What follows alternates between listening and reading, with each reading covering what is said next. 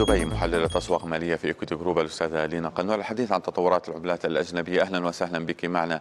لينا بداية يعني لاحظنا ارتفاع واضح في عوائد السندات الأمريكية وتحرك طفيف على أداء مؤشر الدولار نحو الارتفاع. إذا مع ترقب البيانات المهمة خلال تعاملات هذا الأسبوع ما هي التوقعات لأداء الدولار؟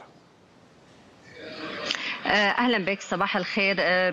بالفعل مؤشر الدولار الأمريكي ما زال عم بيرتفع أمام سلة من العملات الرئيسية وعوائد سندات الخزائن الأمريكية عم نشوفها عم ترتفع لأعلى مستوياتها منذ عام 2019 فعوائد سندات الخزائن الأمريكية هذا الارتفاع اللي عم نلاحظه هو إنه في طلب من المستثمرين إنه يكون في خصم سوقي على السندات. هذا عم نشوف كيف عم ترتفع جميع عوائد سندات العشر سنوات التي وصلت لأعلى مستوياتها من عام 2016 نحن بنحكي عن 1.79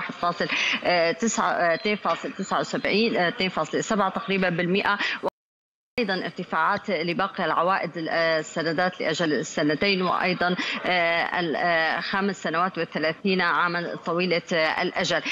فبالتالي السبب وراء ارتفاع عوائد السندات هو توقعات الفدرالي الأمريكي برفع أسعار الفائدة بواقع 50 نقطة أساس تزداد التوقعات بحسب مجموعة السي ام اي بأن يكون هناك تقريبا توقعات برفع الفائدة ب 50 نقطة أساس خلال الاجتماع القادم هو 79 70.7 في المئة وحسب إحصائيات رويترز بتوقعوا ب 81 في المئة أن يكون الرفع. أصبح الآن هو كمان أيضا تكرار الرفعات. هناك توقعات يعني من قبل السوق بأعلى مما يتوقعه الفدرالي الأمريكي أن يكون الرفع من قبل الفدرالي الأمريكي بثماني أو تسع مرات. فهذا يبقي الاتجاه نعم. الصاعد على مؤشر الدولار الأمريكي.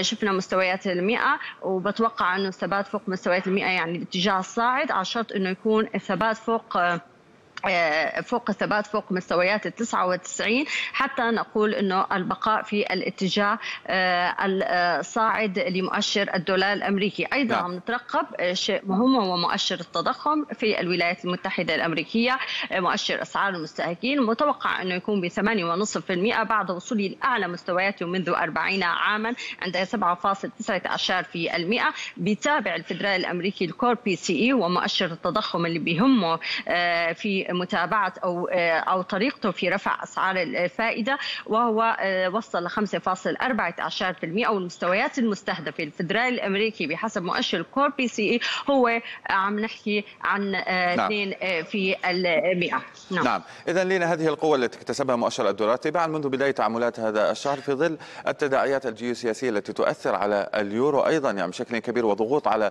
اليورو إن كانت ضغوط تضخمية أو بسبب تداعيات الجيوسياسية الحرب القائمة بين أوكرانيا وروسيا كيف تصفين أداء اليورو في ظل هذه الضغوطات أيضا؟ وما هو المتوقع خلال تعاملات هذا الأسبوع تحديدا؟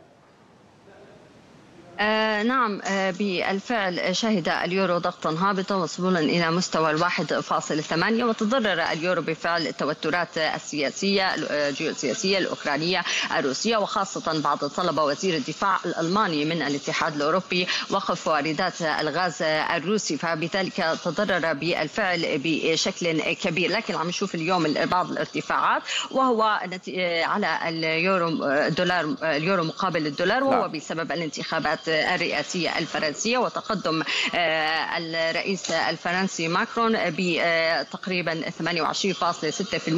مقابل نظيره 23.4 في المئة. فهذا التقدم دعم قليلا اليورو والارتفاع لكن بشكل عام بشكل عام اليورو ما زال في اتجاه هابط لأن كما ذكرنا حتى لو قام البنك المركزي الأوروبي نتيجة ارتفاع التضخم بشكل كبير في منطقة اليورو لكن سيقوم الفدرالي الأمريكي بتجديد السياسة نعم. النقدية قبل البنك المركزي الأوروبي فهذا يبقي الضغط الهابط على اليورو برأيي. وأيضا يعني نحن لا ننسى إنه هذا الأسبوع نتوقع قرار البنك المركزي الأوروبي يكون بتثب... يعني لا شيء سيحصل نعم.